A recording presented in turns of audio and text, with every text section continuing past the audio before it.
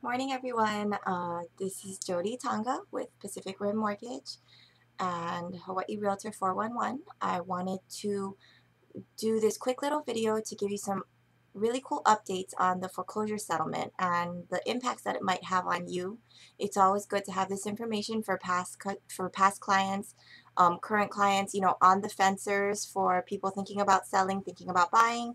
Um, I think this is some really important information, so I just wanted to quickly summarize it.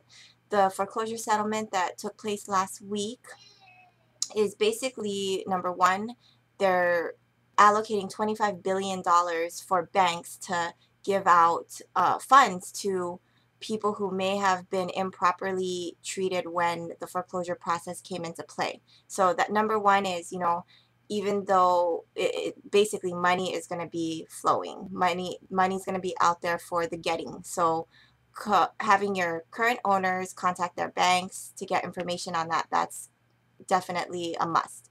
Number two is I wanted to talk about the new modification program. Um, in the past, it was lower your interest rate. So, you know, you might have a 6% now, I can get you to a 3% or even 1% in some cases. Now that's great, but in many cases the savings and monthly payment was not enough to keep the borrower in the house. So they would do the modification, then it would, you know, maybe prolong it for a year or so because the borrower could make that lower payment, but eventually it ended up in foreclosure or short sale. So that's not really a great long-term solution. The, what they came up with it for the new is they're going to be doing principal balance reductions. So that they those were around in the past, but you're going to start seeing them a lot more now.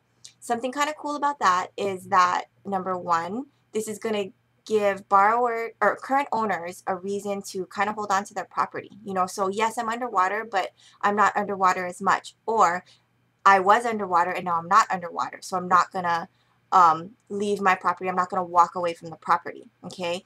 On the other hand, this this principal reduction is going to cause for less short sales. So yes, I was underwater. It would have been a short sale. Now I'm not underwater. It's not going to be a short sale but I still want to sell and at least break even. Kind of cool because inventory will change because of this for a couple of reasons. Of course, some people will be exiting the market. They will no longer want to sell because they are now not as underwater as they thought they were. Number two is they will sell because they, they realize they're not going to have to deal with a short sale. And, you know, number three is hopefully just less foreclosures overall.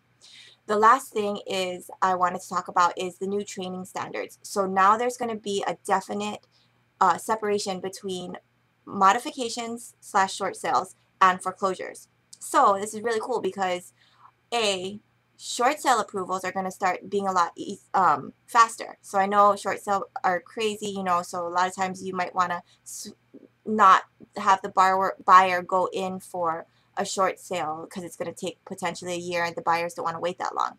I think definitely with this new training standard, the short sales are, short sale approvals are going to decrease in time. Number two is on the sell end, you're not going to be in the middle of a short sale and find out that, oh my gosh, they filed foreclosure paperwork and have to deal with all of that because as we know, that adds a lot of title issues and there's a lot of reversing that needs to happen, which is just time consuming and adds adds time to the closing for no reason. So now if you're in the short sale or modification track, you will not be able to be foreclosed on. That's huge. So um, just some some really cool things that came out of the new foreclosure settlement that I want to share with you. Um, if there's any questions, anything I can help you with, please call me 223 2761. Uh, we can talk about this more. Or, of course, if there's any um, buyers or anything that I can help you with, I always appreciate the referrals. So I will talk to you guys soon, and I hope you have a great day. Thanks. Bye.